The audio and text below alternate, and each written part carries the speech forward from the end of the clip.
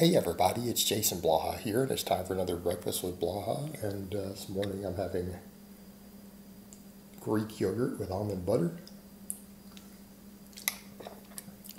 And over the last month or two, I have upset a lot of extremists in different fad diets uh, with my positions.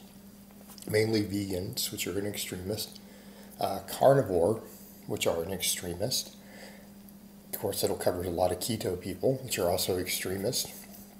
And then on top of it, uh, I think some of the, if it fits your macro zealots, the extreme ones fit in there also.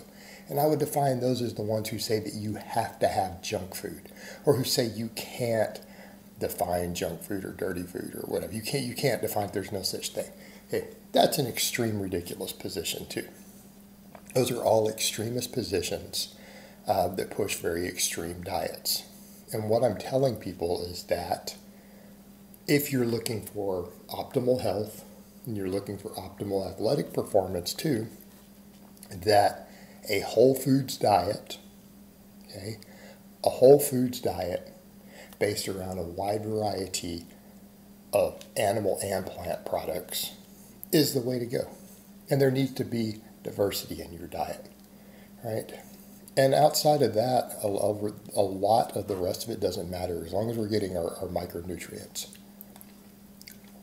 And if you don't know if you are, go plug them into Cronometer. And I'll tell you right now, barring things like vitamin D and K2, which you really can't get in food, uh, you can get K1, which you still count it as vitamin K.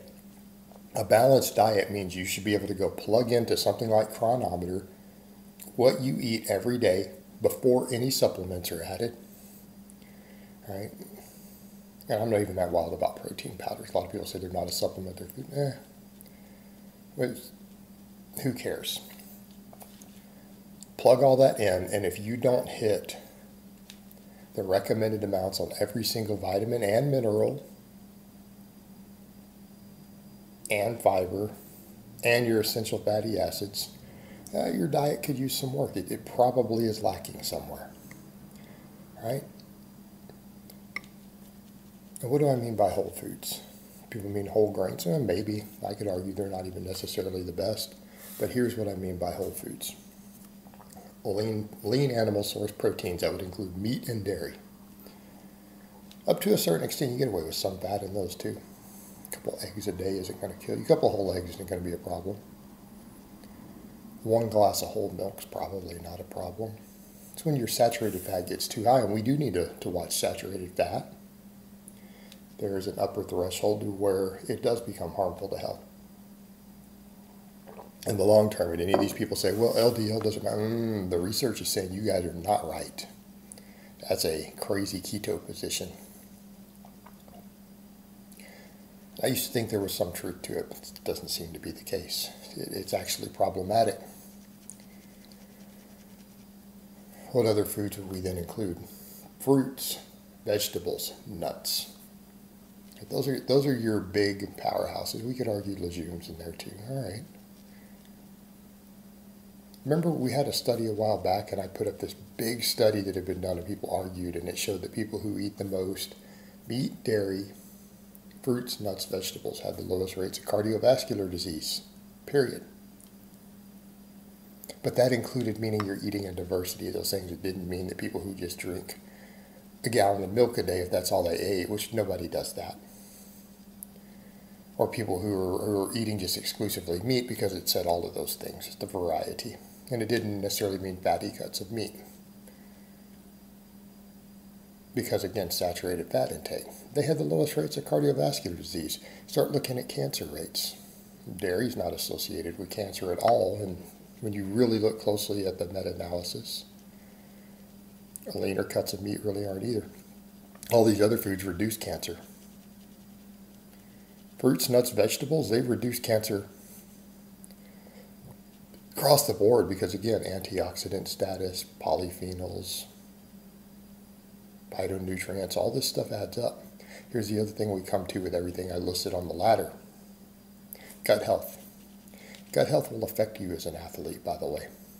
Having a diversity of fruits, vegetables, and nuts, you know, but fruits and vegetables primarily, having a diverse amount of them will give you a more diverse gut biome. It increases your gut health tremendously. That affects the way you digest and absorb foods. It will affect your immune system. It will affect your recovery. It will even affect your metabolic rate. Okay. Affects even things like insulin sensitivity.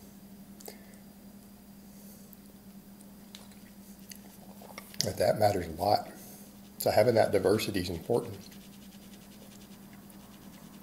I think that's important.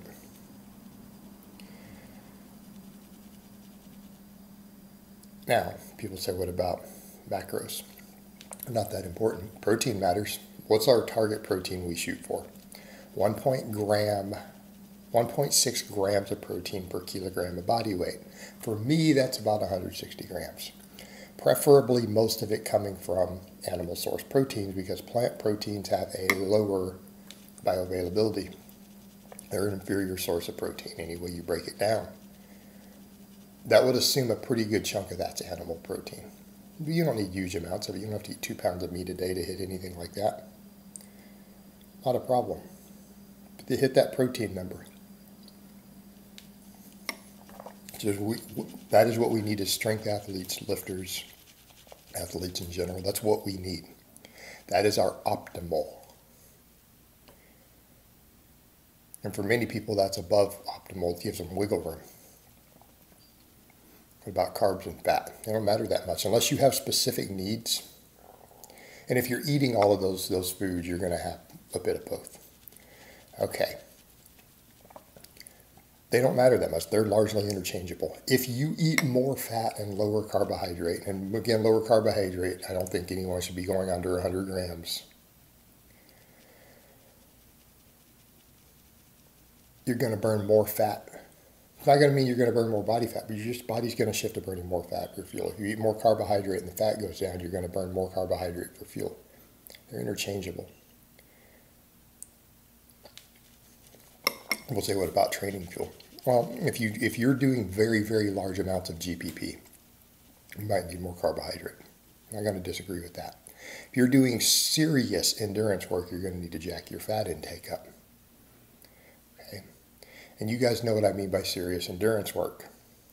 If you're doing 30 minutes of cardio a day and you're lifting for two hours, this is not what we're talking about. You can interchange these based upon mood, satiety, how you feel, preference. Not going to matter that much. So don't take your carbohydrate too low and don't take your fat too low you're going to develop dietary deficiencies. Come back over to the hitting those optimal intakes, and then you need it for the absorption of vitamin A, E, K, D. You have to have it. If that gets too low, the problem. So how much is too low? I don't know. Maybe 0.3 grams per pound of body weight. That's about 0.6 grams per kilo of body weight. Someone like me probably shouldn't go under 60 grams of fat. Not optimal. We don't have a, an exact number that we know. That's an estimate by the best, the best dietitians and uh, sports dietitians out there. Okay, but that's that's how we would define a healthy diet. Me personally, what is it I'm promoting these days? Lean pro, lean animal proteins, and it needs to include dairy. I don't think dairy should be optional. Fruits, vegetables, nuts. And, you know, we could probably throw in legumes. Maybe you could throw in whole grains. I, I think the others are better than whole grains, based upon the, the data I've seen. All right, I think they're a better choice, but those are still whole foods. And I'm not saying white rice doesn't work for a lot of athletes who need tons of calories. All right, that's why stuff like the vertical diet works really well. I use it very successfully to bulk. We could argue that plant fats could replace that just as easily, those calories. What I mean by that, natural peanut butter, avocados, things like that. Again, I'm not telling people to eat a bunch of oils. I'm talking about eating whole foods, minimally processed foods. There's going to be some processing. But you guys know what whole foods are. Let's not act like we don't. And you shouldn't be working junk into your macros. I don't think that that's wise from a health perspective. I don't think that's good. I think you can have a cheat day every now and then. Right? You have a cheat day every now and then. You have a few of them. They shouldn't be comprising a significant chunk of your time, though. Right? I average, for, even though I put mine together for me, I get about one cheat day out of 10. So, you know, 90% of the time, pretty much compliant to this, right? I think it's pretty reasonable. All right, guys, but that's really all I have to say on that today. I hope it's been informative, and I will talk to you guys next time.